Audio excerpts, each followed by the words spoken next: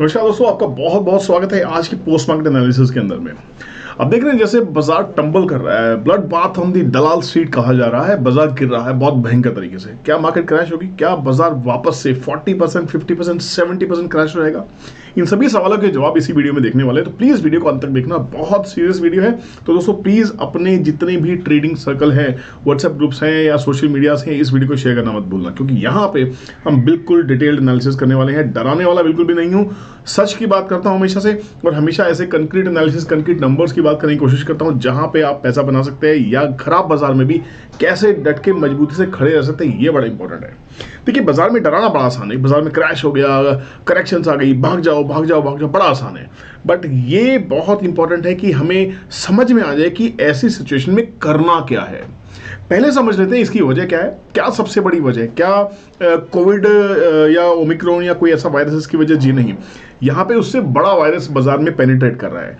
और वो हिंदुस्तान से नहीं, फिर से दोबारा किसी देश से आया है, जिस वायरस का नाम है यूक्रेन और रशिया की लड़ाई। दोस्तों कहा जाता है जब दो बिल्लियाँ लड़ रही होती है तो बंदर फ़ायदा उठाते हैं। यहाँ पे बंदर की भूमिका निभा रहा है अमेरिका। दोस्तों पूरी स्टोरी को कवर करने की कोशिश नहीं करूँगा। पहले भी बहुत सारे यूट्यूबर्स ने यूक्रेन और रशिया की पूरी कहानी कवर करके रखी है। यहाँ पे हम समझने की कोशिश करेंगे कि उसका इंपैक्ट हमारी स्टॉक मार्केट पर डायरेक्टली या इनडायरेक्टली क्यों हो रहा है और ये कितना प्रैक्टिकल है, ये सस्टेन करेगा या नहीं करेगा। क्या ये वाकई वर्ल्ड वॉर थ्री है? This is very very important guys तो इसलिए इस वीडियो को अंत तक देखना, बहुत अच्छे से देखना, समझना, बने रहो। पहले समझ लेते हैं यूक्रेन ने क्रीमिया को जो जब इन्वेड किया था तो बेसिकली वो एक सुपर पावर की एक ताकत थी जो उन्होंने यूक्रेन के ऊपर दिखाई थी। अब कहानी आती है कि जो गैस सप्लाई रशिया करता है थ्रू यूक्रेन थ्रू पोलैंड और बहुत सारी यूरोपियन कंट्रीज़ में स्पेशली जर्मनी में। अब यहाँ पे जो पाइपलाइन वो यूज़ करता है, जिस जिस देश से वो जाती है, वहाँ पे उसको एक टैरिफ देना पड़ता है, एक चार्जेस देना पड़ता है। भाई, मेरे घर के रास्ते से, आप मेरे समुद्र के नीचे से, आप जो पाइपलाइन लेके जा रहे हैं, आपको मुझे टैरिफ देना पड़ेगा। बिल्कुल जैसे एयर बाउंड्रीज होती हैं लैंड बाउंड्रीज होती है, वैसे ही सी बाउंड्रीज भी होती हैं। तो अगर अब मैं कोई भी चीज़, अगर आपकी कंट्री या दूसरी कंट्री से पास करने की कोशिश करूँ तो मुझे एक टैरिफ देना होगा, एक सरचार्ज पे करना होगा, एक चार्ज पे करना होगा बेसिकली खर्चा देना होता है कमीशन पे करनी होती है। यहाँ पे जो कमीशन रशिया यूक्रेन को पे करता है, वो उसकी टोटल जीडीपी का चार परसेंट के आसपास काउंट करता है। सोच सकते हैं जीडीपी का फोर परसेंट के आसपास। और जो कमाई रशिया को इस गैस पाइपलाइन के बिज़नेस से होती है गैस के बिज़नेस से होती है, वो पूरी रशिया की जीडीपी का फोर्टी परसेंट के आसपास कंट्रीब्यूट करता है। कितना बड़ा बिज़नेस है। अब कंट्री क्यों नहीं चाहेगी उसके खर्चे बचे? पहली बात तो रशिया का यूक्रेन की लड़ाई चल रही है बहुत टाइम से, वो आज से 2014 से है। ये अलग बात है कि रशिया अब उस खर्चे को बचाना चाहता है, पोलैंड को भी वो खर्चा पे करता है, बहुत सारी ऐसी कंट्रीज़ को देता है। अब नई जो पाइपलाइन रशिया ने बनाई है, जो बाल्टिक सी के नीचे से जा रही है, वहाँ पर वो अगर डायरेक्ट जर्मनी पहुँच जाती है तो बहुत सारी कंट्री बाईपास हो जाती है। अब हर इंसान को अपना एक हक है कि अपने खर्चे बचाने का, ठीक है, हर कंट्री को हक है अपने खर्चे बचाने का, अपनी इकोनॉमी का सॉलिड बनाने का। बट यहाँ पे अगर ये सेकंड पाइपलाइन अप्रूव हो जाती है सेकंड पाइपलाइन थ्रू हो जाती है तो यहाँ पे सबसे बड़ा घाटा होगा यूक्रेन की इकोनॉमी को। तो यूक्रेन नहीं चाहता भैया मेरी इकोनॉमी ध्वस्त हो जाए, मेरी इकोनॉमी बर्बाद हो जाए। अब यहाँ पे नुकसान अमेरिका को भी है। अमेरिका को क्या सीधा नुकसान समझ लीजिए। जब रशिया, जर्मनी में और यूरोप के बाकी देशों में गैस सप्लाई करता है, अमेरिका भी सप्लाई करता है, जब रशिया डायरेक्टली वहाँ पहुँच जाता है तो अपने खर्चे को कम कर लेता है तो यहाँ पे रशिया सस्ती गैस बेचने के लिए तैयार है। जब रशिया इकोनॉमिकल कॉस्ट पे गैस बेचेगा तो अमेरिका की गैस महँगी हो जाएगी तो अमेरिका को बिज़नेस का लॉस होना ही होना है। अब समझ लीजिए, रशिया, अमेरिका दो बड़ी दिग्गज कंट्रीज़ है। अब अमेरिका का एक बहुत रिसेंट एक स्टेटमेंट आया कि भाई रशिया कभी भी लड़ाई कर सकता है यूक्रेन के ऊपर में, कभी भी चढ़ाई कर सकता है। उसने कहा कि आप निकल जाइए, जितने भी लोग अमेरिकन हैं, वो वहाँ से बाहर आ जाए, कभी भी बम्बार्डिंग हो सकती है बॉम्बिंग की जा सकती है। एक बात सोच के बताइए, क्या वर्ल्ड वाकई वर्ल्ड वॉर थ्री के लिए तैयार है? आज के टाइम में कोई भी ऐसी कंट्री नहीं छोटे से छोटी कंट्री के पास भी न्यूक्लियर वेपन्स है। न्यूक्लियर वेपन्स हैं केमिकल वेपन्स हैं। हमने कोविड से रिसेंटली हम लोग बाहर आए पूरी वर्ल्ड इकोनॉमी उससे बाहर आई है। अभी अभी अभी हम खड़े भी नहीं हुए ढंग से। हम मतलब पूरा वर्ल्ड तो क्या वर्ल्ड इस तीसरी वर्ल्ड वॉर को झेलने के लिए तैयार है? लास्ट टाइम जब यूक्रेन रशिया की लड़ाई हुई थी, वहाँ को चौदह हज़ार से ज़्यादा लोग मारे गए थे और लाखों लोग घायल हुए थे। क्या हम फिर से तैयार हैं कि हम किसी का पक्ष लें, कभी इंडिया रशिया का पक्ष लेगा या इंडिया अमेरिका का पक्ष लेगा या कौन किसका पक्ष लेगा, क्या चाइना किसकी तरफ़ से लड़ेगा? क्या वाकई हम वर्ल्ड वॉर में जा सकते हैं? Can we really afford that क्या हम उस ब्लड बाथ के लिए तैयार हैं? क्या हम उस इकोनॉमी के ब्रेकडाउन के लिए तैयार हैं? नहीं। कोई भी कंट्री उस इकोनॉमिकल ब्रेकडाउन के लिए तैयार नहीं है, मैं आपको बता देता हूँ। बहुत सीरियस सा खेल गाइस मैं 20 साल से मार्केट में हूँ। बीस साल में मैंने बहुत सारे उतार चढ़ाव देखे हैं। मार्केट के बहुत सारी न्यूज़ को कोरिलेट किया है। ऐसे ऐसे इंस्टांसिस के साथ में आप बिलीव नहीं करेंगे। मैंने बहुत सारे स्पाइक्स देखे हैं मार्केट के, बहुत सारे डाउनफॉल देखे हैं। और हर डाउनफॉल और हर स्पाइक के पीछे एक वजह होती है। इसका मेरा अपना प्योरली प्योरली मेरा मानना है। लोग मुझे इस चीज़ के लिए बिल्कुल कुछ भी कह सकते हैं। लोग कह सकते हैं इसको बिल्कुल भी नॉलेज नहीं मैं वो भी समझने को तैयार हूँ। मैं अपना मत आपके सामने रख रहा हूँ, ये बिल्कुल भी बायस नहीं है, ना ही किसी से इंस्पायर्ड है है ना? मुझे क्या लगता है, आप समझ लीजिए, मुझे हमेशा से ये लगा है कि जब भी बाज़ार की वैल्यूएशन हाई होती हैं एफ़ को एफ़ को जब नया पैसा लगाना होता है तो बाज़ार में कोई ना कोई बवंडर खड़ा किया जाता है। कोई न्यूज़ पैदा की जाती है, जिसके बेसिस पे मार्केट में करेक्शंस आती हैं। मैं हमेशा से आपको कहता हूँ corrections are good for the market आप हमेशा मनी मैनेजमेंट के साथ काम कीजिए बहुत बहुत पैसा बनता है इस मार्केट में। मुझे एक बात बताइए, क्या ऐसी सिचुएशन में वॉरेन बफे अपना माल बेच के बाहर भाग जाएँगे? क्या राकेश झुन्नूवाला इस मार्केट से बाहर हो जाएँगे? जी नहीं। सबके सब दिग्गज इन्वेस्टर्स प्रॉफिट बुकिंग तो करते ही हैं बट दोबारा तैयार होते हैं नए भाव पे माल लेने के लिए। They are ready to buy equity at good valuation yes this is how smart people work and this is the reason why they getting richer day by day वो क्यों चार परसेंट, पाँच परसेंट लोगों के बीच में ये इकोनॉमी समट के रह जाती है? क्यों चार से पाँच परसेंट लोगों के बीच में ये पैसा बटके रह जाता है?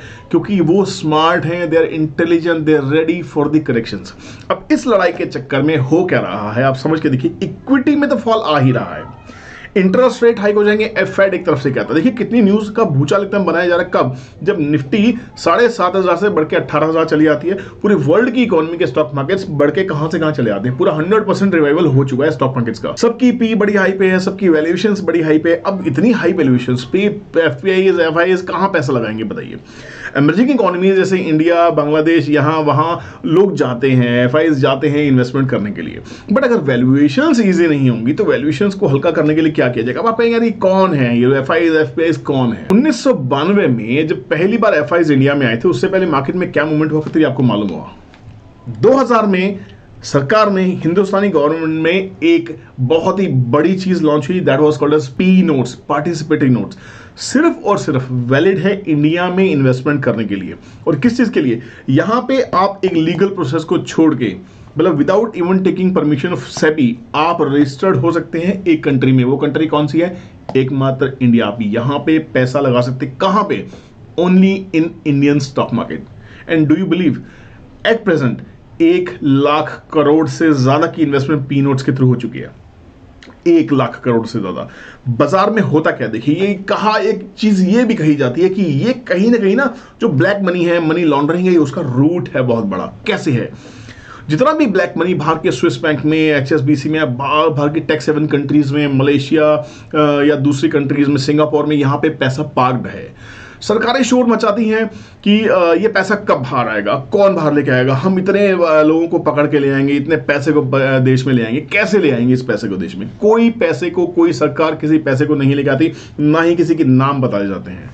होता क्या है वो पैसा जो दूसरे बैंक्स में पड़ा हुआ है, वो बैंक एक पी नोट इश्यू करते हैं उसके नाम पे, जो हिंदुस्तान में आके स्टॉक मार्केट पे निवेश कर सकता है खाली उस पी नोट्स के ज़रिए पे।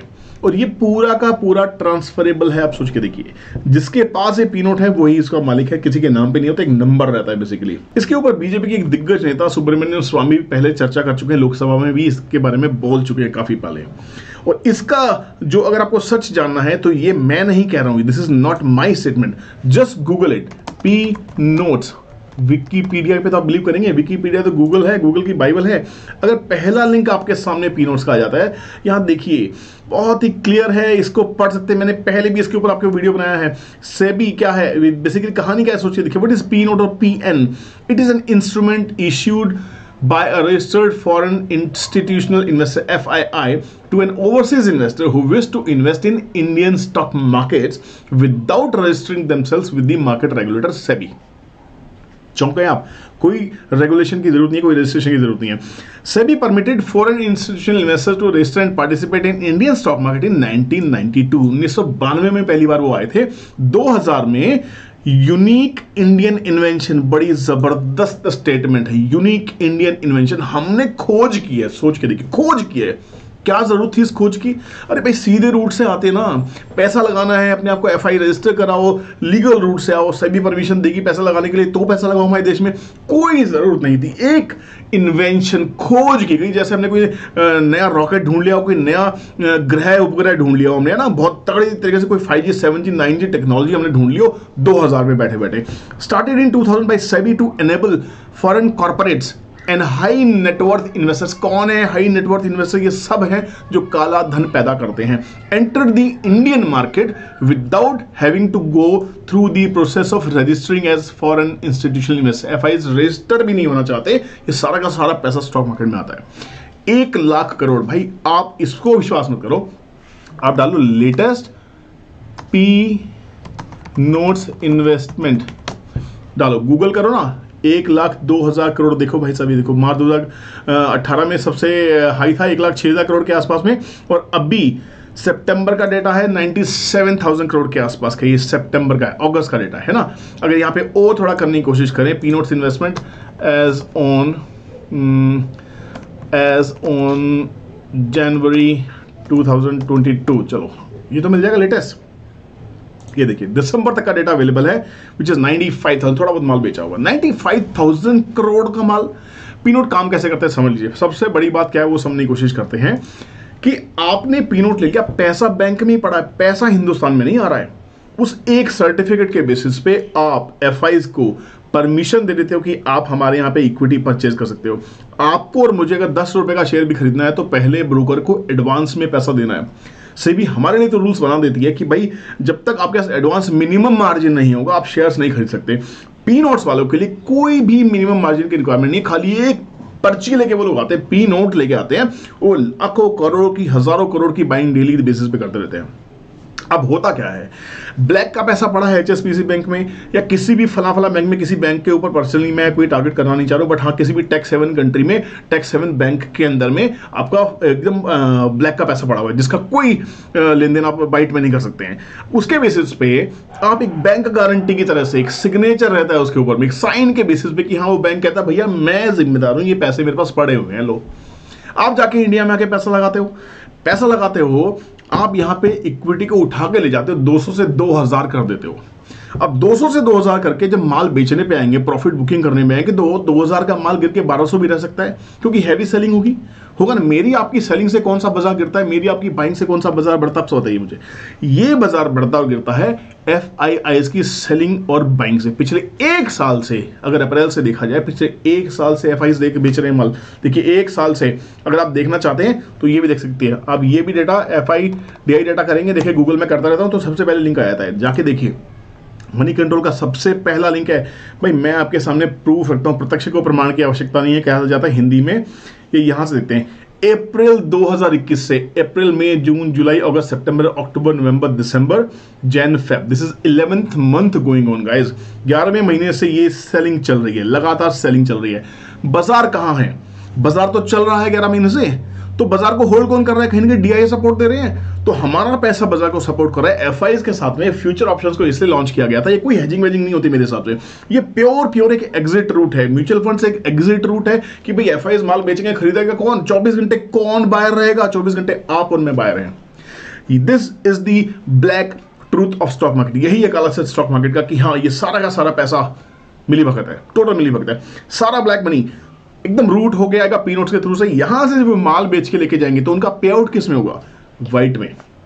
एक नंबर के व्हाइट में। यहाँ वो टैक्स पे करेंगे पे आउट्स लेके जाएँगे, पूरा का पूरा पैसा व्हाइट कन्वर्ट होता है थ्रू स्टॉक मार्केट्स इसका प्रूफ देख लीजिए, मैं अपनी बात नहीं कर रहा हूँ, ये भी विकीपीडिया के ऊपर में अगर आप नीचे की तरफ़ जाने की कोशिश करेंगे तो यहाँ पे आपको कुछ ना कुछ मिलेगा, देखिए। वन इज़ एनोनिमिटी क्या है? Entity investing in participating notes is not required to register with SEBI कितना बड़ा एक वो है, मतभेद है। Where as all F I have to compulsory get जबकि होना चाहिए। Ease of trading. Trading through participating notes is easy because participating notes are like contract notes, transferable by endorsement and delivery. जिसके पास वो है, वो उसका मालिक है, कोई तकलीफ़ नहीं है। टैक्स बेनिफिट तो है ये मनी लॉन्ड्रिंग देखिए जो मैं आपको कह रहा हूँ, लिखा हुआ है, मैंने लिखा गूगल बोल रहा है। Peanuts are becoming a favorite with the host of Indian money, Indian money launderers who use them to first take funds out of the country hawala and then get it back through P notes सोच के देखिए।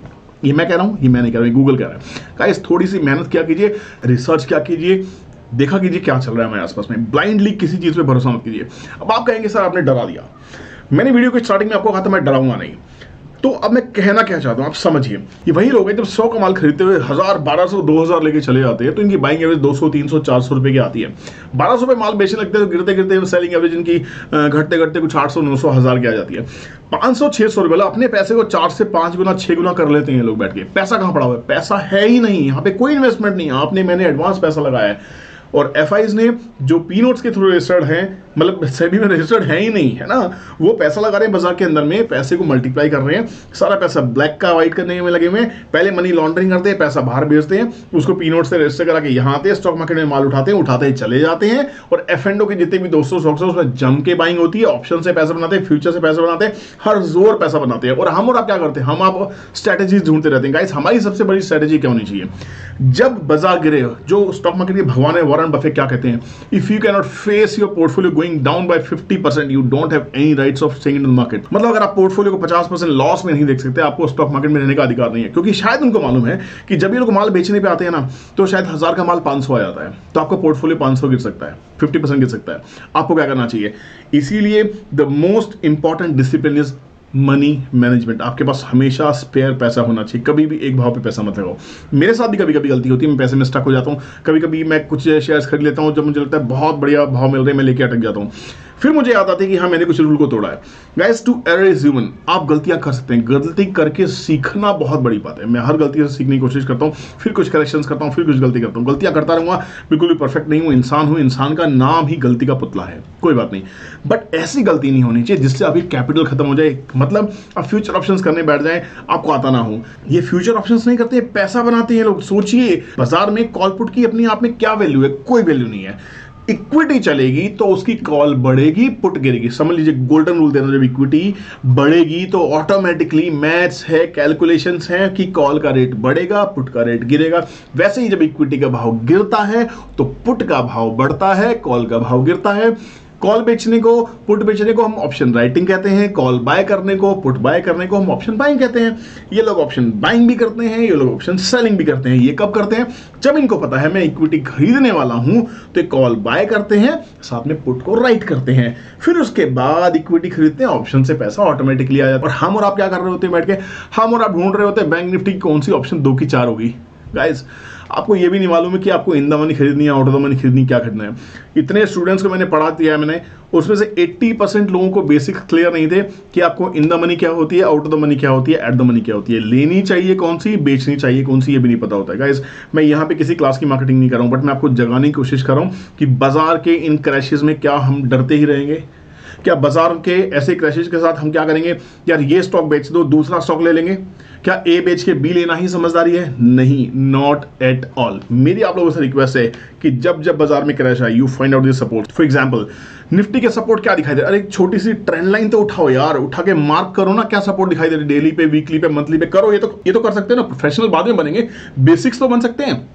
Support क्या दिखाई दे रहा है? वो ये support पे है। 16,800 पे निफ्टी बंद हुई है सपोर्ट के ऊपर में। Pure pure red candle pure red candle कहाँ पे सपोर्ट पे पहले सपोर्ट मिला है ना वहाँ पे? अगर पहले सपोर्ट मिला है दूसरा सपोर्ट अगर ये भी टूट जाता है मान लीजिए। पहली बात तो मुझे समझ में आता लड़ाई नहीं होगी।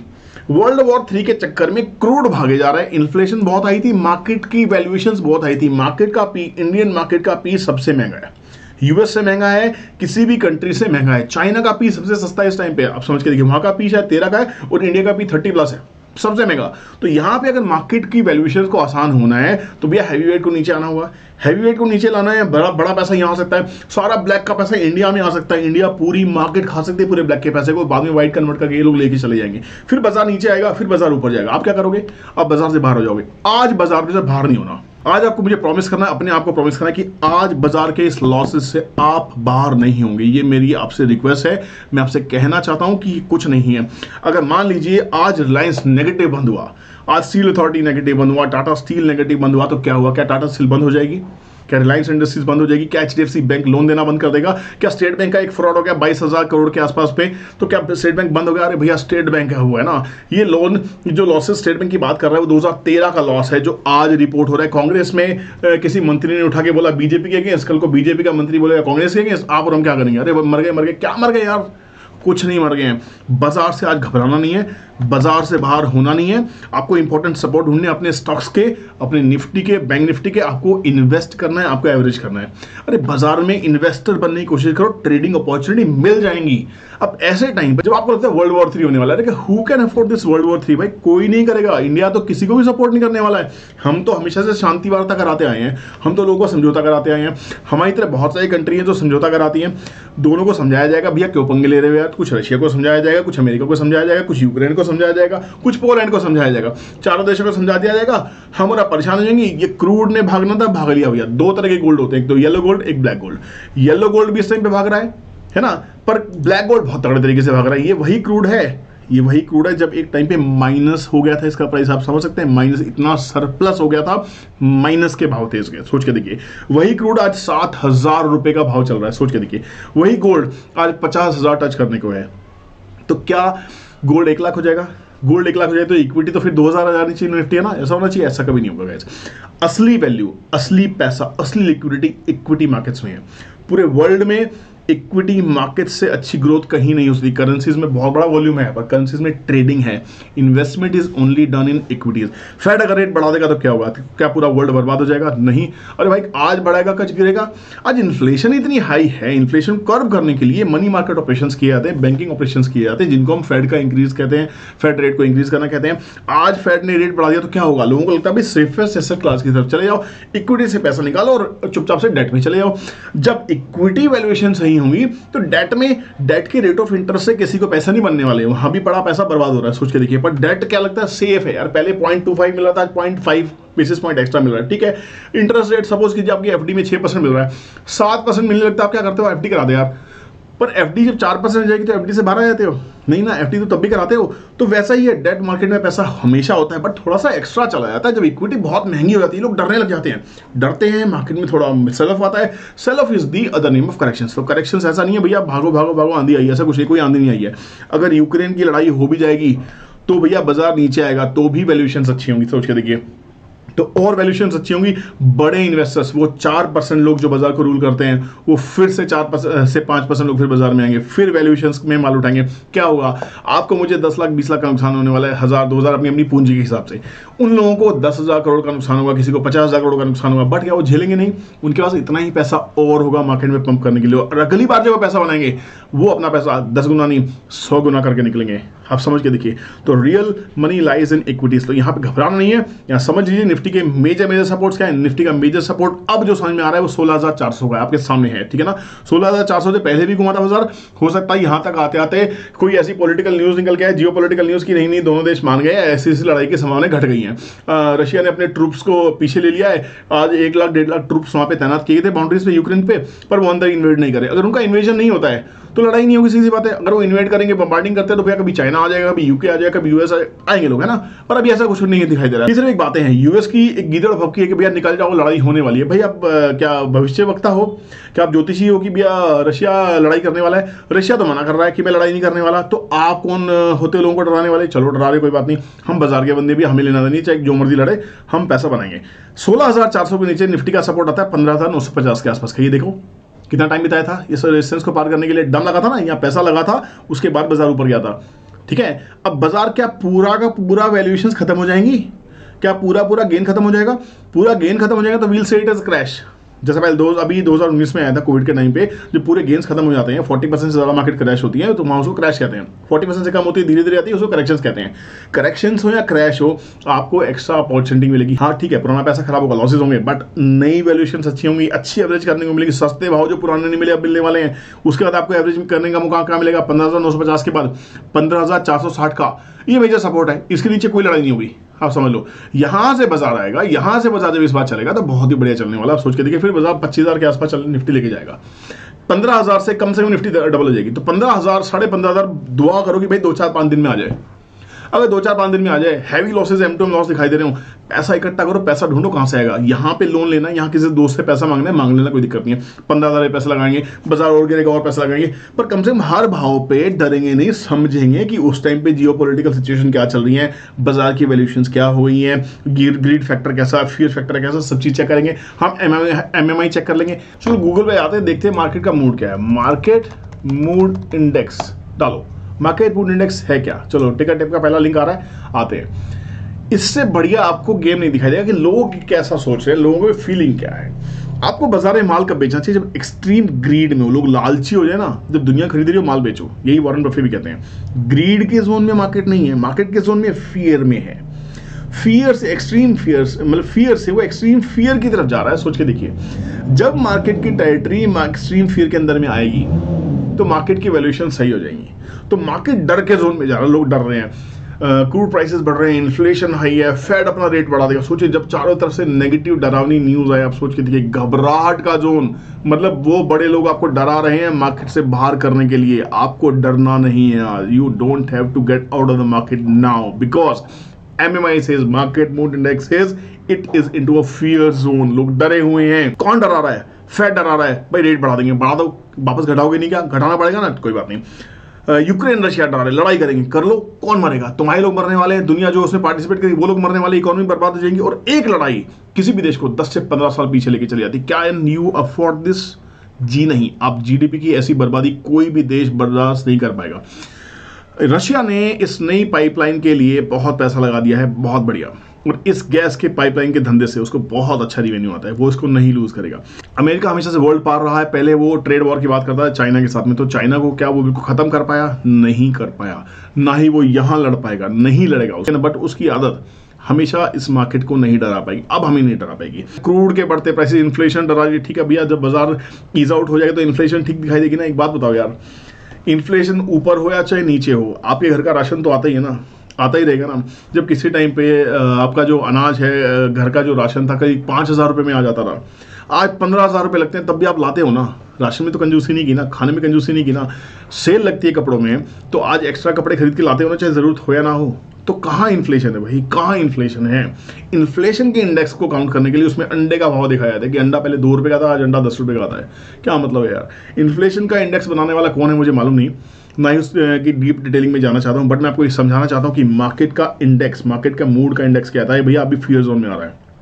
तो कहीं ना कहीं मार्केट करेक्शंस करती हुई ऐसे जोन में एंटर करने वाली है जहाँ पे आपको बाइंग के बहुत बहुत अच्छे मौके मिलने वाले हैं। तो मेरे दोस्तों, मेरी आप लोगों से रिक्वेस्ट है, हाथ जोड़ के विनती है, इस बाज़ार से बाहर नहीं होना, इस बाज़ार को बदनाम नहीं करना। यहाँ पे मौके ढूँढने हैं कोई लड़ता है, लड़ता रहे। आपको सिर्फ़ ये देखना है कि ठीक है लड़ो यार, जिसको बम गिराने गिराओ मार्केट करेक्ट होने दो। मैं तैयार हूँ। जिस दिन आप मार्केट में मैं तैयार हूँ कि नीति से आएँगे, रणनीति से आएँगे, आप बाज़ार से कभी भी नुकसान नहीं खाएँगे। ऐसे ही मौके में जिन लोगों ने 2019 के कोविड के क्रैश में पैसा लगाया, वो बहुत जल्दी करोड़पति बन गए। उनका पैसा बहुत जल्दी लखपति में कन्वर्ट हो गया। एक लाख वाले का माल बीस लाख हो गया, बीस लाख वाले का एक करोड़ और एक करोड़ वाले का सौ करोड़। ये वो लोग थे जिन्होंने ऐसे मौके का फ़ायदा उठाया। ये फिर से मौका है any crash any correction is good for you and me हमें यहाँ पे माल उठाने के लिए तैयार होना है। क्या बिल्कुल भी नहीं डराऊँगा, बिल्कुल भी नहीं डराऊँगा। मैं आपको मोटिवेट करता आया हूँ। मैं हमेशा से कहता हूँ कि yes market is just a number game तो this time you don't have to miss this number game I really hope कि आपको शायद मोटिवेट कर पाया हूँ। अगर आप मुझे भी मोटिवेट करना चाहते हैं आप एक लाइक प्रेस कर सकते हैं इस वीडियो को। दोस्तों में शेयर कीजिएगा। जितने भी लोग डरे हुए हैं ट्रेडिंग फेटर्निटी के लोग हैं या इन्वेस्टमेंट फेटर्निटी के लोग हैं, किसी को भी डराना नहीं है। अगर आप भी चाहते हैं लोगों की रियल मदद करना तो इस वीडियो को प्लीज़ शेयर करना मत भूलिएगा। कमेंट कीजिएगा। नीचे अगर आपको वीडियो अच्छी लगी हो, नहीं अच्छी लगी हो, तब भी कमेंट कीजिएगा। आपके कमेंट्स को पर्सनली पढ़ता हूँ। चलिए, मिलते हैं फिर किसी नई इंटरेस्टिंग और इन्फॉर्मेटिव वीडियो में। अगर आपने चैनल को अभी तक सब्सक्राइब नहीं किया सब्सक्राइब कर लीजिए। सब्सक्राइब करने के साथ साथ बेल नोटिफिकेशन को हिट करना बोले तभी आप मेरी किसी भी वीडियो का नोटिफिकेशन पा पाएँगे। मिलते हैं किसी और वीडियो में। टेक केयर बाय जय हिंद।